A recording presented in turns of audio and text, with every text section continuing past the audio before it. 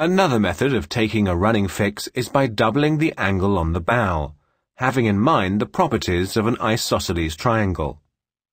This fix requires the first bearing to be less than 45 degrees from the bow. Assuming the course is 0 90 degrees and the speed is 10 knots or 10 nautical miles per hour, we take a bearing of 0 60 degrees of the Charley radio tower at 0900 or 30 degrees from the bow. Now convert the compass bearings to true bearings and plot it on the chart. We observe the Charley radio tower and when the new bearing reads 030 degrees or 60 degrees from the bow, we note the time 0915. Now convert the compass bearings to true bearings and plot it on the chart.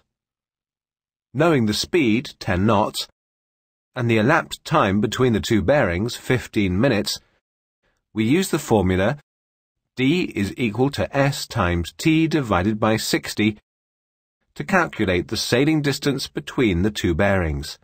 In our case, that's 2.5 nautical miles per hour.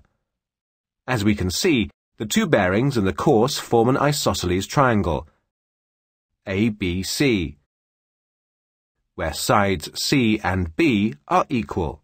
That means that the distance from the Charley radio tower, when we took the second bearing at 0915, was 2.5 nautical miles. Using this method, we have a bearing and a distance using only one object.